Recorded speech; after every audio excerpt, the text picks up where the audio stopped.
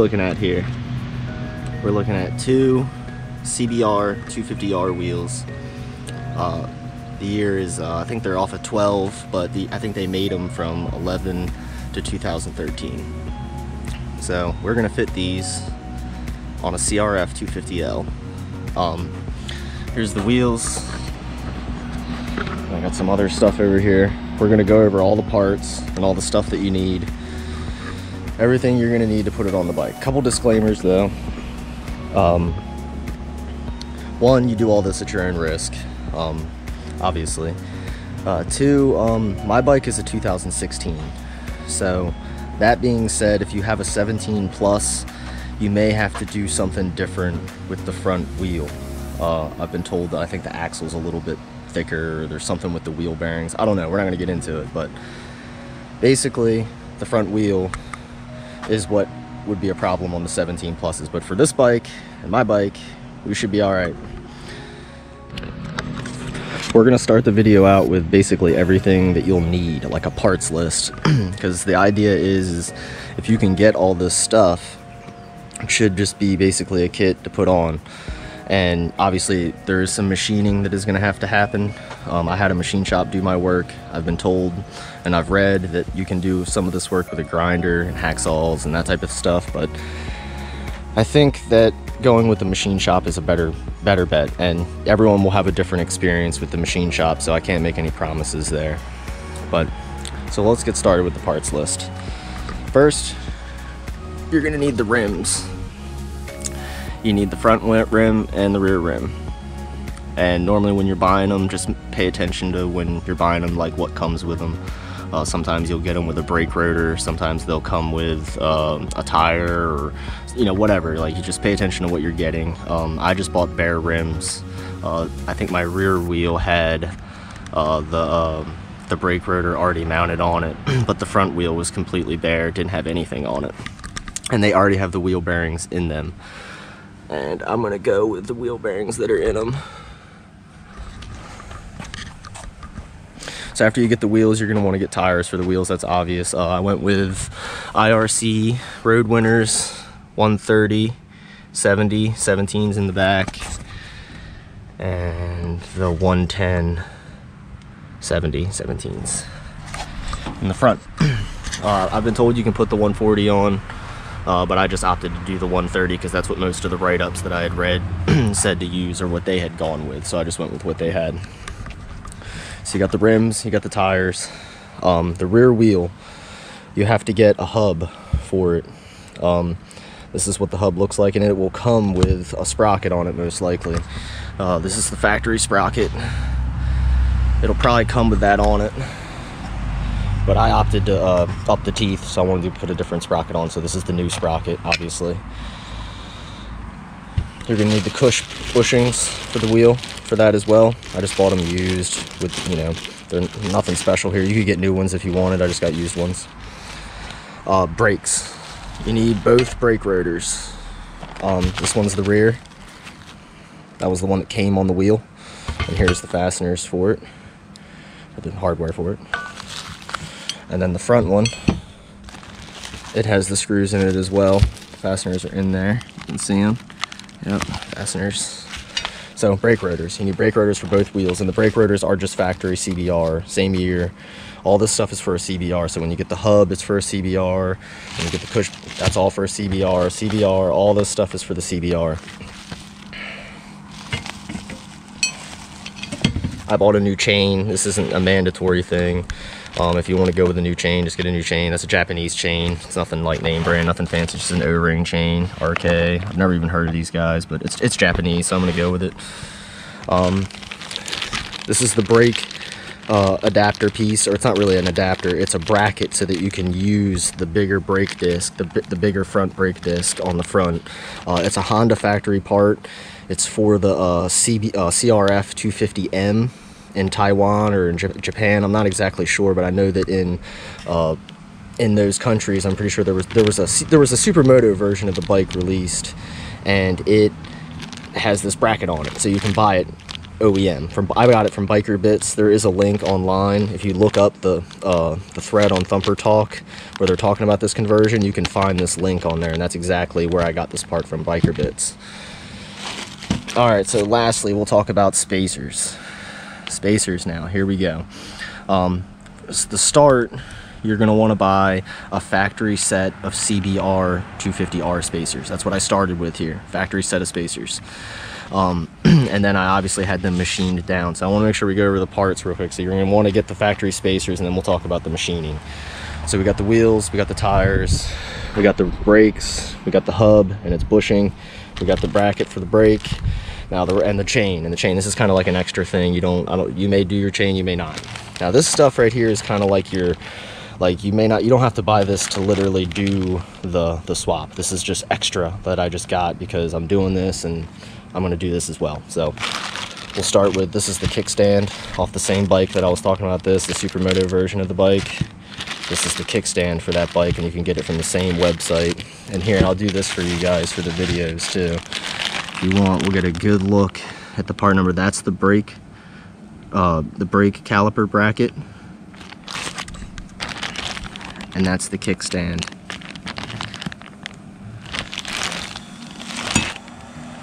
All right, so the extra stuff.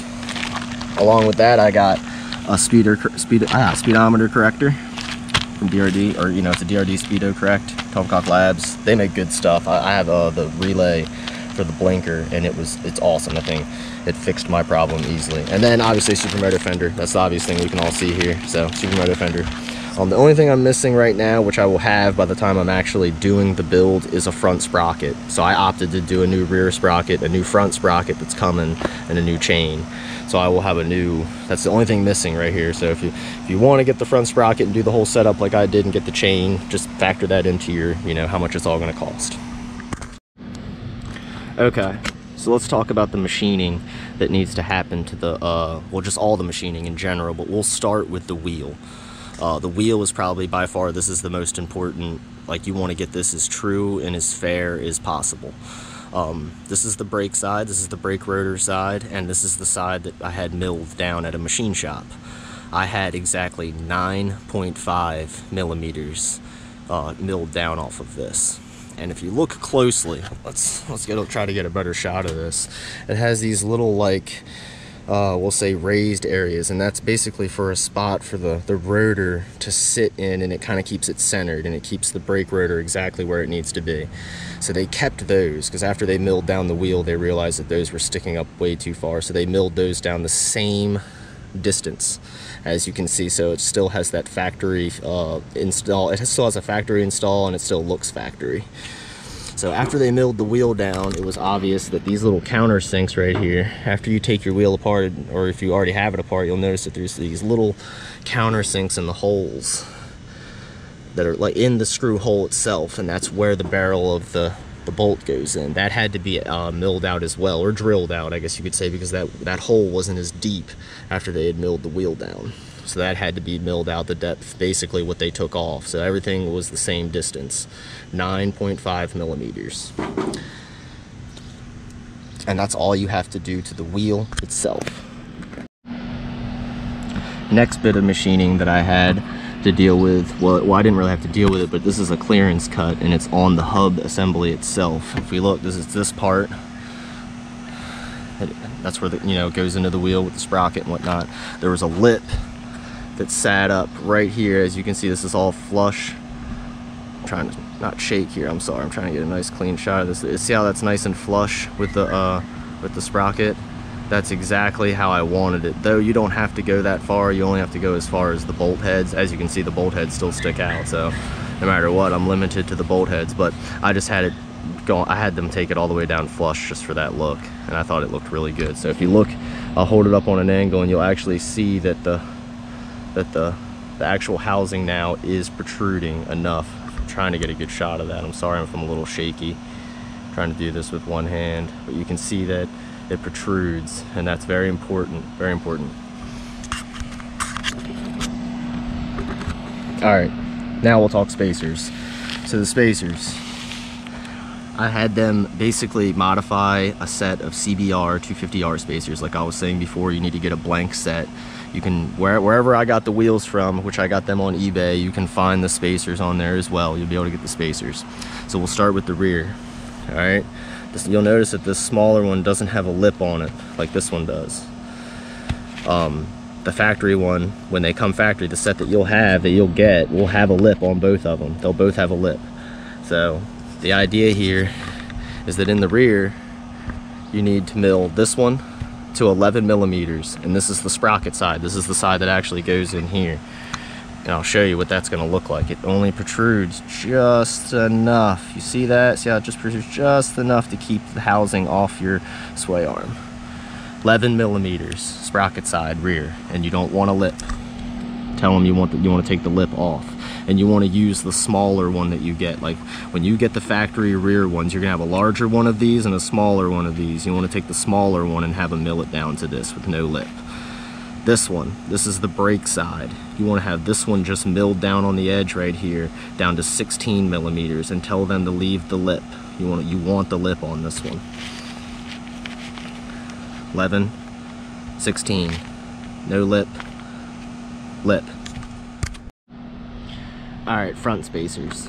So this is when things can get a little bit different and uh, what, what happened here. Okay, so here's my factory one.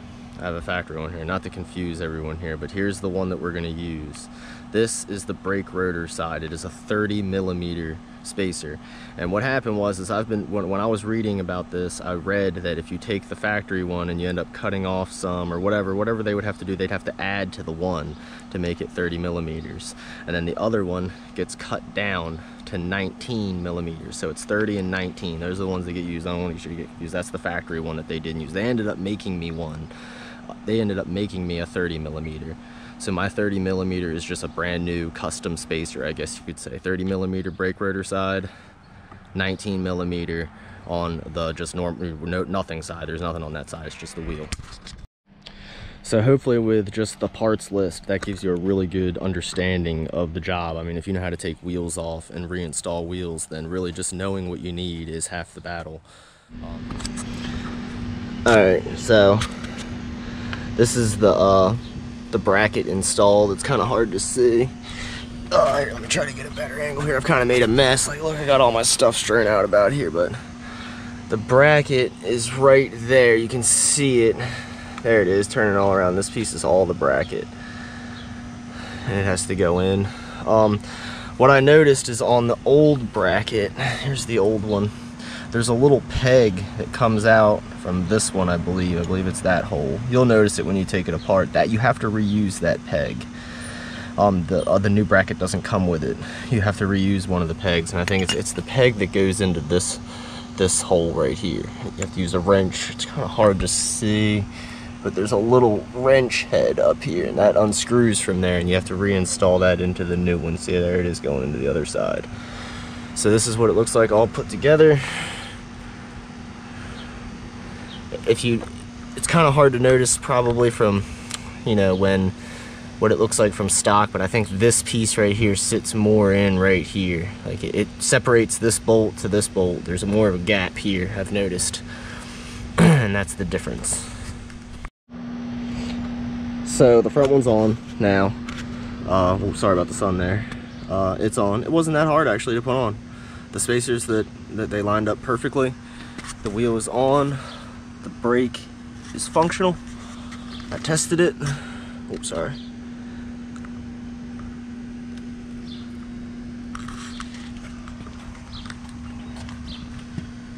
There's the custom spacer, the 30 millimeter. And there's the other size. I can't even tell you what it is right this minute. I think it was 19. 19 millimeter on the other side.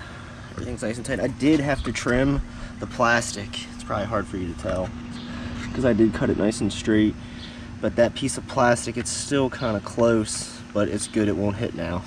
That this side's okay. This side won't hit. This side was already good. But keep that in mind that the the I guess that would be the right side of the bike the non-brake rotor side of the bike.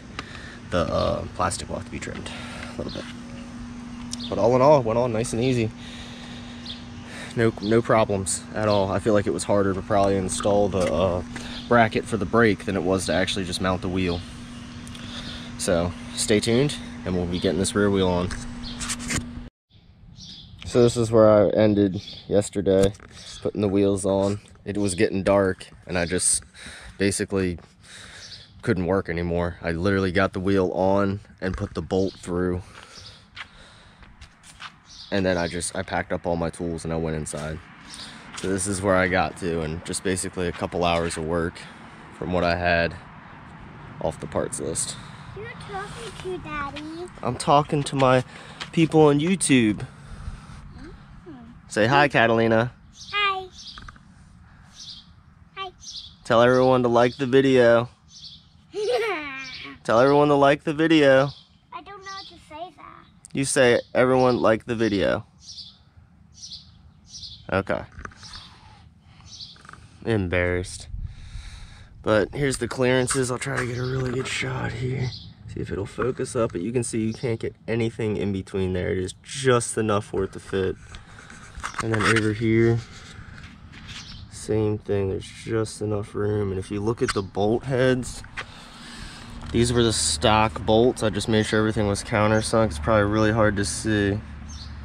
But let's like look at look at one of the bolt heads go in. There's your clearance with them. So really happy.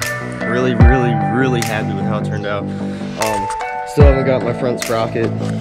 So as soon as the front sprocket comes in, I'm gonna change the chain out and the front sprocket. That's it. Fender, DRD eliminator,